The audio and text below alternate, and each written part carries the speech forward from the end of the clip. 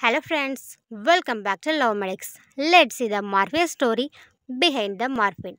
Morpheus was the god of dreams in Greek mythology, son of Hypnos, god of sleep, Pasithea, goddess of rest and relaxation, and grandson of Nyx, goddess of night. Morpheus was the messenger of God. He can communicate divine messages to the sleeping mortals. He shaped and formed the dreams. through he could appear to mortals in any form.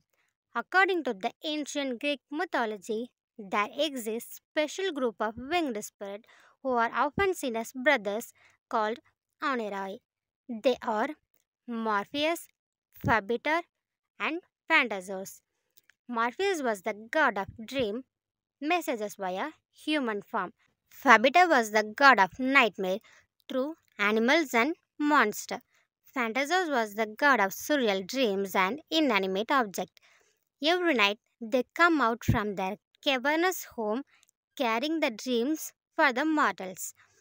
Morpheus was the leader of Oneiroi groups of dreams. When in his embrace an individual enjoy a deep, peaceful sleep referred to as being in the arms of Morpheus.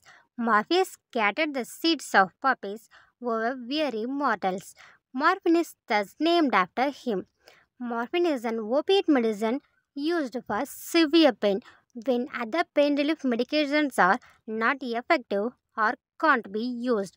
Morphine belongs to the group of medicines called narcotic analgesic. It is a strong opiate that is found naturally in opium, a dark brown resin produced by drying the latex of opium poppies. Opium poppy was the only source of morphine and its derivatives. Thank you. Dreams on.